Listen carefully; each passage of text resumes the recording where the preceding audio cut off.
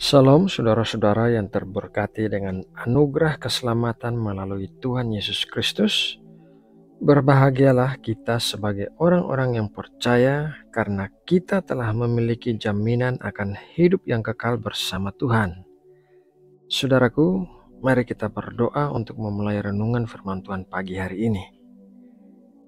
Bapa yang baik dan penuh kasih, kami datang ke hadapanmu dalam doa pagi ini untuk mengucap syukur buat segala hal yang baik yang terjadi atas kami. Terima kasih buat kehidupan dan berkat-berkatmu yang kau berikan bagi kami. Hari ini kami mau memulai pagi hari bersamamu dan mendengarkan firmanmu. Ajarilah kami akan hal-hal yang benar sesuai dengan firmanmu dan jadikanlah kami para pelaku firman yang melakukannya karena kami mengasihimu. Terima kasih Bapak. Dalam nama Tuhan Yesus Kristus, kami berdoa dan mengucap syukur. Amin. Saudara yang terkasih, Ibrani pasal 11 menuliskan daftar nama para pahlawan iman seperti Habel, Henok, Nuh, Abraham, Sarah, Ishak, Yakub, dan masih banyak lagi. Mereka adalah orang-orang yang hebat karena iman mereka kepada Allah. Namun, ada sebuah tulisan yang ditambahkan di akhir cerita tentang para pahlawan iman itu yang akan menjadi bahan renungan kita pagi hari ini. Mari kita membacanya dalam Ibrani 11 ayat 32 sampai 34. Dan apakah lagi yang harus aku sebut? Sebab aku akan kekurangan waktu apabila aku hendak menceritakan tentang Gideon, Barak, Simpson, Yefta, Daud, dan Samuel dan para nabi yang karena iman telah menaklukkan kerajaan-kerajaan, mengamalkan kebenaran, memperoleh apa yang dijanjikan, menutup mulut singa-singa, memadamkan api yang dahsyat. Mereka telah luput dari mata pedang, telah beroleh kekuatan dalam kelemahan, telah menjadi kuat dalam peperangan, dan telah memukul mundur pasukan-pasukan tentara asing. Setelah menuliskan tentang kehebatan para tokoh Alkitab, penulis kitab Ibrani menyebutkan bahwa para pahlawan iman itu telah beroleh kekuatan dalam kelemahan. Kelemahan tidaklah selalu berarti hal yang memalukan, dengan satu syarat, yaitu kita membawa kelemahan kita ke hadapan Tuhan untuk dipakai olehnya. Beberapa cara Tuhan bisa memakai kelemahan kita menjadi kekuatan adalah cara yang pertama, yaitu kelemahan kita dipakai untuk mencegah kesombongan.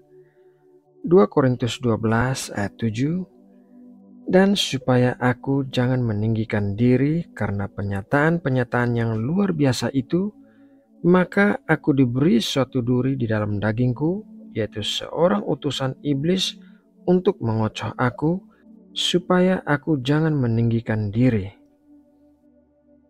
Kesadaran bahwa kita hanyalah manusia biasa yang memiliki kelemahan akan mencegah kita dari menyombongkan diri kita sendiri sama seperti apa yang terjadi pada Rasul Paulus.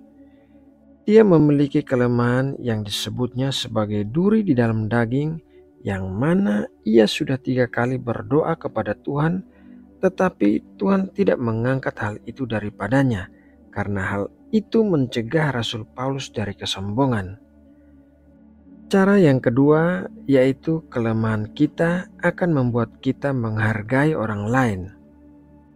Di dalam 1 Korintus 12 ayat 22, malahan justru anggota-anggota tubuh yang nampaknya paling lemah yang paling dibutuhkan.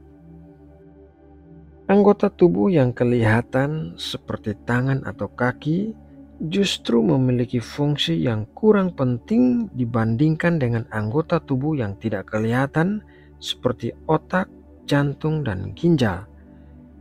Kita bisa kehilangan tangan atau kaki dan tetap melanjutkan hidup kita.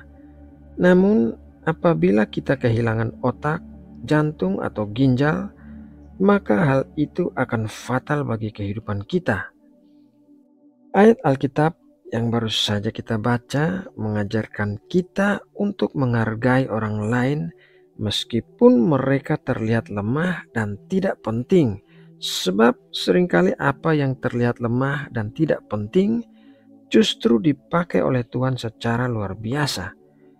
Kita tidak boleh memandang rendah orang lain dalam kelemahan mereka, karena kita sendiri pun memiliki banyak kelemahan. Cara yang ketiga yaitu kelemahan kita akan membuat kita bergantung pada Tuhan. Di dalam 2 Korintus 12 ayat 9 sampai 10 dikatakan demikian. Tetapi jawab Tuhan kepadaku, Cukuplah kasih karuniaku bagimu, sebab justru dalam kelemahanlah kuasaku menjadi sempurna. Sebab itu terlebih suka aku bermegah atas kelemahanku, supaya kuasa Kristus turun menaungi aku. Karena itu, aku senang dan rela di dalam kelemahan, di dalam siksaan, di dalam kesukaran, di dalam penganiayaan dan kesesakan oleh karena Kristus, Sebab jika aku lemah, maka aku kuat.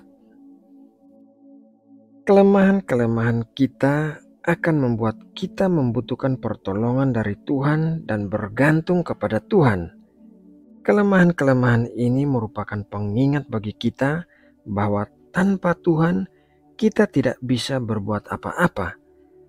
Banyak sekali hal-hal di dunia ini yang bisa mengalahkan kita akan tetapi bersama Tuhan, kuat kuasa Tuhan akan menutupi kelemahan kita dan bahkan mengubahkan kelemahan itu menjadi kekuatan bagi kita.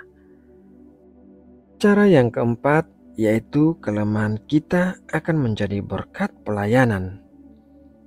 2 Korintus 1 ayat 3 sampai 4 Terpujilah Allah Bapa Tuhan kita Yesus Kristus Bapa yang penuh belas kasihan dan Allah sumber segala penghiburan yang menghibur kami dalam segala penderitaan kami, sehingga kami sanggup menghibur mereka yang berada dalam bermacam-macam penderitaan dengan penghiburan yang kami terima sendiri dari Allah.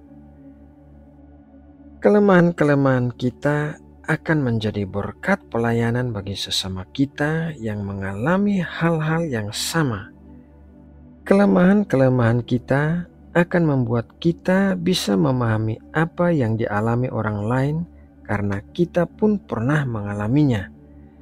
Kesaksian seorang mantan pecandu narkoba yang telah dibebaskan oleh Tuhan Yesus akan menjadi kesaksian yang lebih kuat bagi para pecandu lainnya dibandingkan kesaksian dari orang yang tidak pernah menjadi pecandu narkoba. Kita tidak boleh menyanyiakan apa yang kita alami sebagai kelemahan kita, melainkan kita memakainya sebagai berkat pelayanan untuk orang lain, sebab itulah yang dikehendaki Tuhan. Saudara yang terkasih di dalam Kristus, melalui renungan firman Tuhan pagi ini, marilah kita memiliki iman kepada Tuhan yang mampu mengubahkan kelemahan kita menjadi kekuatan sama seperti apa yang dilakukan Tuhan kepada para pahlawan iman dalam kitab Ibrani pasal 11. Bersama Tuhan tidak ada yang mustahil. Nah, saudaraku, demikianlah renungan firman Tuhan hari ini. Semoga menjadi berkat dan kekuatan bagi kita di sepanjang hari ini dan di sepanjang hidup kita. Mari kita berdoa untuk menutup renungan ini. Terima kasih ya Tuhan atas berkat firman yang baru saja kami terima. Kami percaya Engkau akan mengubahkan kelemahan kami menjadi kekuatan karena tidak ada yang mustahil bagimu. Pakailah hidup kami untuk memuliakan namamu. Ya Bapa, berkatilah apa yang akan kami lakukan di sepanjang hari ini. Tuntunlah kami untuk senantiasa berjalan di dalam kebenaranmu dan menjadi terang bagi dunia ini Pakailah kami sebagai alat kerajaanmu yang membawa dampak positif bagi orang-orang di sekitar kami. Pakailah kami untuk menjangkau jiwa-jiwa yang membutuhkan sentuhan kasihmu di dalam hidup mereka. Terima kasih ya Bapa. Di pagi hari ini kami juga mau berdoa bagi bangsa Indonesia. Terima kasih buat berkat kedamaian dan perlindunganmu bagi bangsa kami. Kami berdoa bagi para pemimpin negeri ini, kiranya mereka memiliki hati yang senantiasa baik, dipenuhi dengan hikmat, dan bisa membawa bangsa ini menuju ke arah yang lebih baik. Terima kasih ya Bapa buat kasih dan anugerahmu bagi Indonesia. Dalam nama Tuhan Yesus Kristus, kami berdoa dan mengucap syukur. Amin.